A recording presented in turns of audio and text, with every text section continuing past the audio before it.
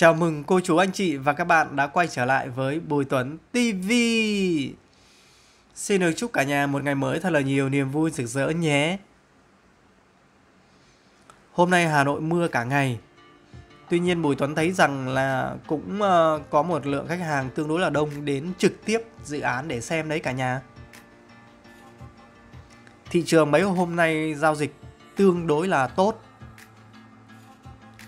và có một cái tin rất là vui cho uh, nền kinh tế nói chung đó là một vài ngày nữa thì ngân hàng nhà nước sẽ có quyết định cụ thể về cái tỷ lệ phần trăm zoom tiến dụng được nới cho hệ thống ngân hàng thương mại. Và tất nhiên rồi Bùi Tuấn nghĩ rằng là cái dòng vốn đợt này sẽ được ngân hàng nhà nước nắm vào à, hầu hết các cái ngành nghề trong nền kinh tế nói chung để làm sao mà một cái bức tranh tổng thể của nền kinh tế nó được phát triển một cách Ờ, toàn diện.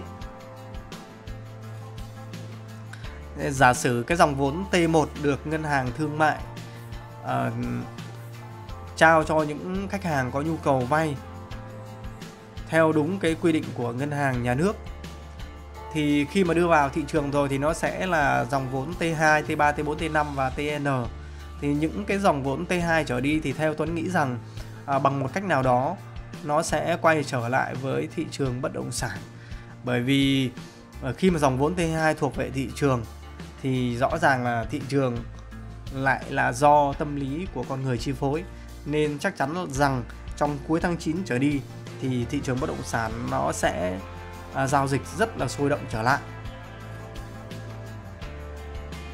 À, vâng cả nhà thân mến, à, đó là cái câu chuyện vĩ mô và thuộc về sự quản lý tài chính của ngân hàng nhà nước. Còn với Bùi Tuấn, có lẽ là chúng ta cũng không cần quan tâm quá nhiều. Bởi vì ờ, có nhiều việc, có cái nhiều việc mà nếu chúng ta quan tâm quá nhiều thì nó cũng sẽ không tốt. à, vâng và chủ đề chính ngày hôm nay của chúng ta là tham quan thực tế một cái căn shop house tại đường Trà Là 5 à, thuộc phân khu Trà Là dự án Vinhome The Empire Ocean Park 2 cả nhà nhé. Đây rồi, đây là đường Trà Là 05. Mình vào xem bên trong nhé. Đây, đây là căn 18. Căn 18 này là căn xẻ khe nhá, bên kia là căn 17. Tôi nhớ không nhầm là căn 18 này có diện tích là 98 mét vuông. Mình vào xem căn 19 đi.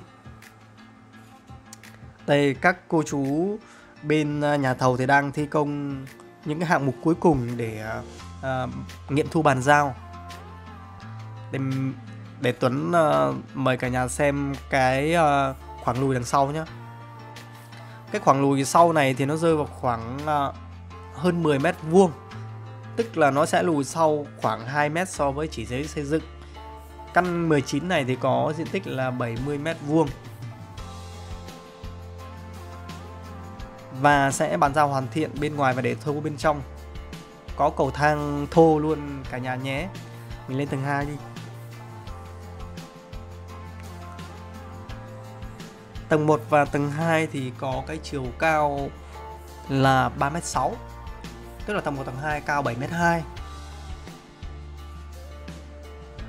từ tầng 2 trở lên thì sàn thì sẽ là bê tông cán phẳng tường thì không chát. Trần để thô hệ thống ờ, đầu chờ điện nước thì cũng đã sẵn sàng rồi.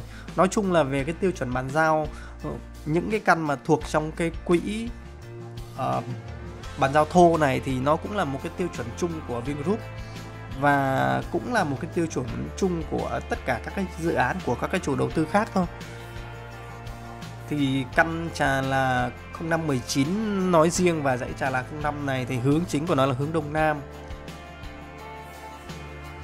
Và mặt trước của nó sau này nó sẽ là hệ thống uh, trường học cả nhà nhé. Chà leo lên một lúc mà tương đối là chóng mặt cả nhà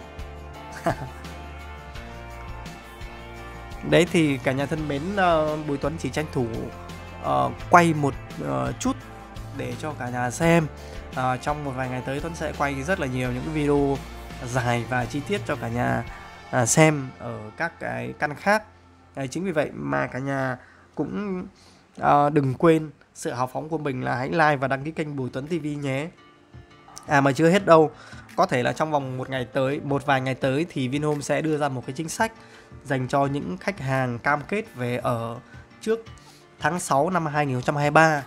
Đó là Vinhome sẽ tặng các khách hàng đó những nhà đầu tư đó là 2 năm phí dịch vụ và 2 năm uh, thuộc cái chương trình Family uh, của Vinmec trong vòng 2 năm. Thì đây là Tuấn thấy rằng đây là một cái chính sách tương đối là hay về mặt uh, tổng thể và nó cũng rất là có lợi cho những cái khách hàng riêng lẻ. Đấy, còn bây giờ một lần nữa uh, xin chào, xin cảm ơn cả nhà đã xem video này. Uh, xin hẹn gặp lại trong các video lần sau hoặc là thực tế tại dự án The Empire Vinhome Ocean Park cả nhà nhé. Xin chào.